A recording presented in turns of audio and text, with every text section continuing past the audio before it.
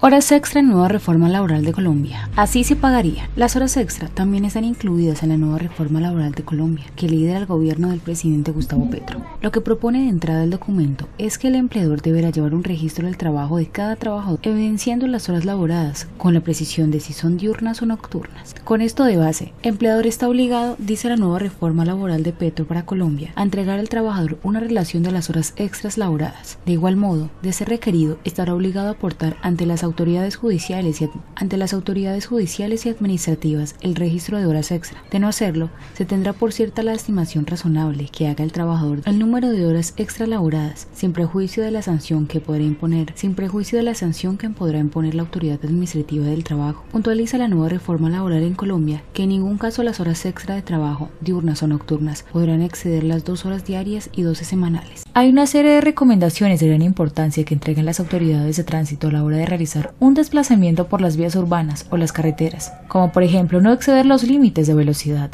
verificar el estado de los automotores en sus sistemas de frenado, ruedas, dirección, luces, amortiguadores, etc. También es indispensable atender las diferentes señales que están en la vía y conducir con cuidado. Uno de los factores de mayor siniestralidad de las carreteras del país es por cuenta de los adelantamientos en zonas prohibidas por las curvas, calzadas angostas o lugares en los que no se exige suficiente visibilidad por presentarse un desnivel en la calzada. A eso se suman los elementos distractores como el celular o la radio del carro, cuya manipulación hacen que el conductor aparte su vista del camino y se termine saliendo. Es fundamental el uso del cinturón de seguridad en todo el momento, o el casco en el caso de los motociclistas, así como llevar el equipo de carretera básico, con un gato que tenga capacidad suficiente para elevar el vehículo, cruceta, dos señales reflectivas en forma de triángulo, extintor, botiquín de primeros auxilios, dos tacos de bloqueo, caja de herramientas, llanta de repuestos y una linterna. No se recomienda la ingesta de una comida abundante antes de emprender el viaje.